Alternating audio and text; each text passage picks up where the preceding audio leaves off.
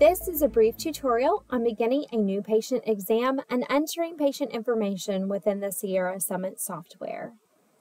To begin a new patient exam, press F1 on the base unit, which is indicated on the display screen as F1 New Patient.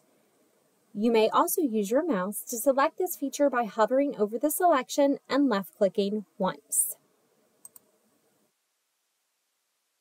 Once the selection is chosen, the patient information window will be displayed. A blinking cursor will automatically populate in the last name field. You can use the Tab key on your keyboard or your mouse to move from entry field to entry field.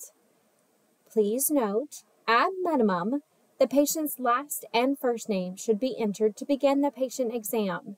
That information is what Sierra Summit uses to create the patient's data file. Other key fields of entry to consider are age, sex, height, and weight. When using certain protocols, that information may be required to populate the normal values for the patient's exam. The test date and test time will automatically be generated within the Sierra Summit system for you, but it can easily be modified if needed.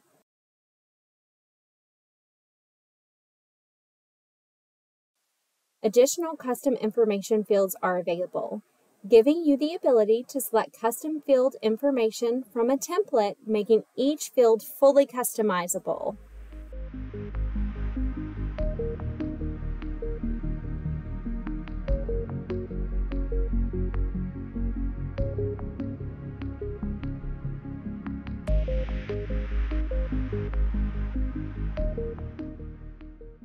The Notes field has been added in 4.0 software, making it searchable in the main study window, so it's a great place to enter things that you may want to sort by later. For example, final diagnosis or research title. You may also select what report header you wish to be associated with the patient's exam within this window. Just simply select from the drop-down list or click on the Browse button.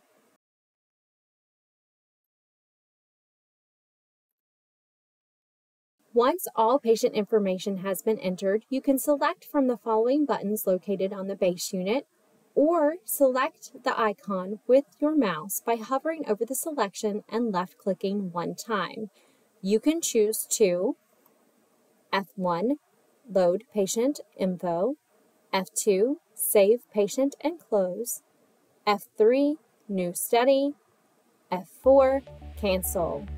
To begin a new patient exam, press F3 New Study.